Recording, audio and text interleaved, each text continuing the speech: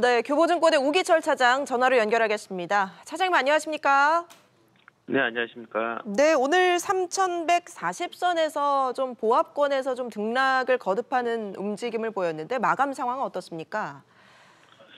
예, 오늘 옵션 만기일 아, 기관들의 매도 물량이 많이 나올 거라는 그런 예상이 있었는데요.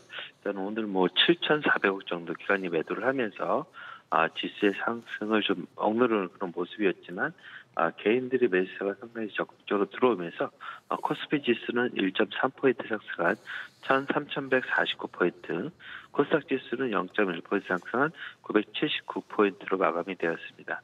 오늘 옵션 만기일 일단 무난하게 좀 마감이 됐다고 볼 수가 있을 것 같은데요. 아, 시장은 이로써 일단은 한고비를 좀 넘어가는 그런 모습으로 마감이 된 것 같습니다. 네, 밤사이 미국 증시는 혼조세를 보였는데 어떤 이슈들이 작용을 했을까요? 일단은 밤사이에 일단은 트럼프 탄핵안에 대한 그 가결, 아, 미 하원에서의 가결이 일단은 저 주요 이슈로 떠올랐는데요.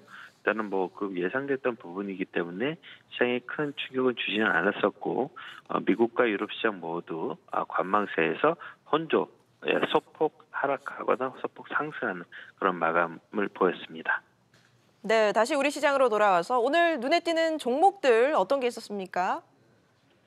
어, 오늘 어, 거래소 종목 중에서 삼성물산이 배당과 실적에 대한 기대감 그리고 지배구조 개편에 대한 기대감으로 오늘 상승 마감을 하였고요.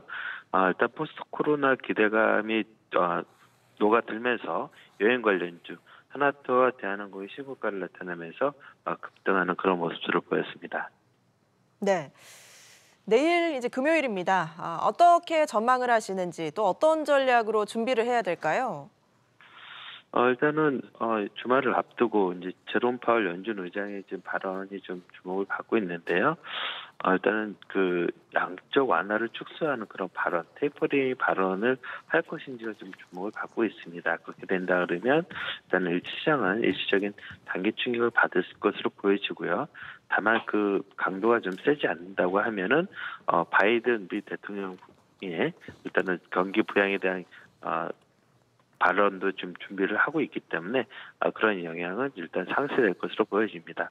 아, 최근의 흐름은 기간 조정을 거치고 있고 이런 상황에서 주소주를 지금 약간 쉬어가고 있는데 이런 때일수록 주소주가 조정 시 분할 매수하는 전략으로 접근하신 전략이 좋을 것으로 보여집니다. 네, 말씀 고맙습니다. 지금까지 교보증권 오기철 차장 연결해서 마감 시황 살펴봤습니다.